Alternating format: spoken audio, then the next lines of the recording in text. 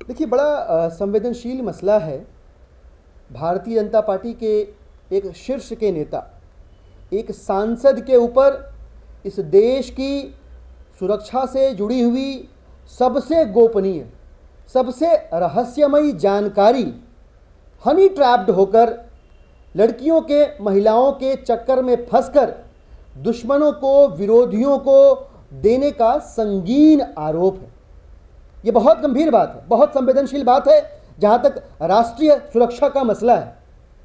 और ऐसे में देश टकटकी लगाए भारतीय जनता पार्टी के शीर्ष नेतृत्व से, केंद्र की सरकार से कुछ सुनना चाहता है। कुछ ऐसा सुनना चाहता है जिससे वो आश्वस्त हो